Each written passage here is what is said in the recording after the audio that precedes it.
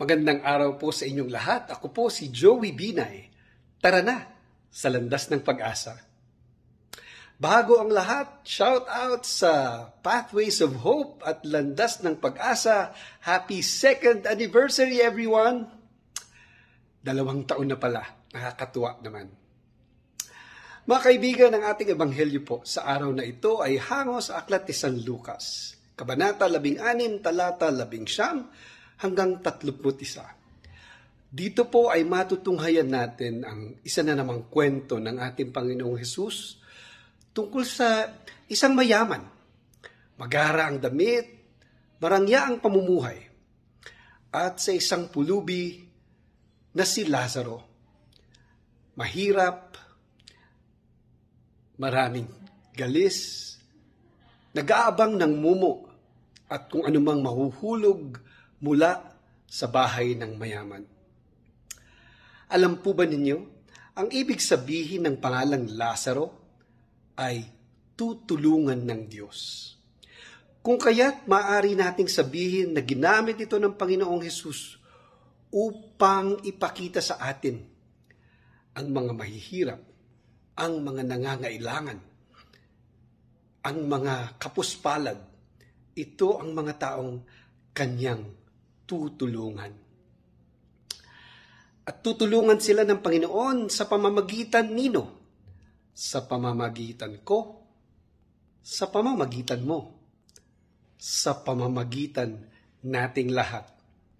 Tayo ay tinatawagan ng Panginoon upang ibahagi ang mga biyaya at grasyang tinatanggap natin mula sa Kanya sa mga nangangailangan, lalong-lalo na sa mga mahihirap.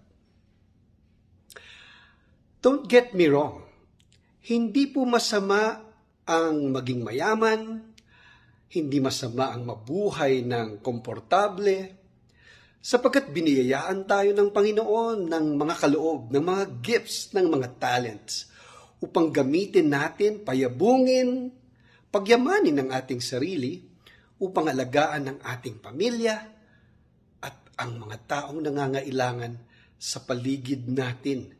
Nais ng Panginoon na magkaroon tayo ng pusong maawain, mapagmahal, mapagbigay.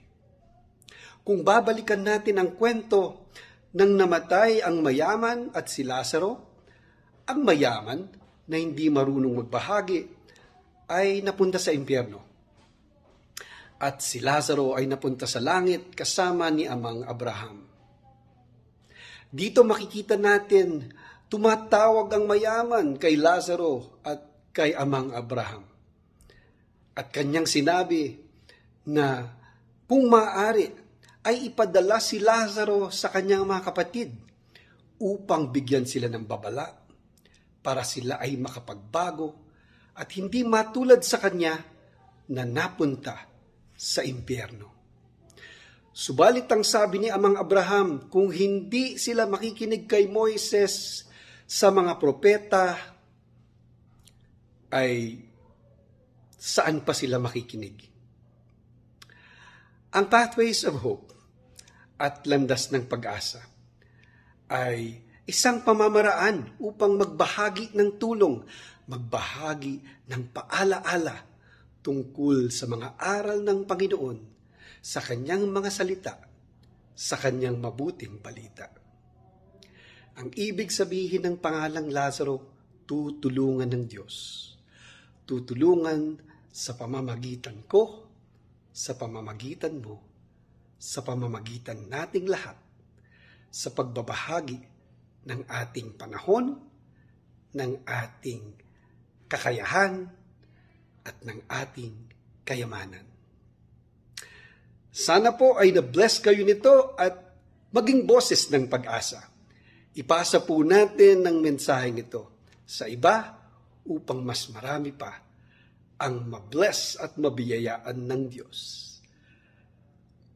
Muli ako po si Joey at pagpalain nawa kayo ng ating amang mapagmahal. God bless you.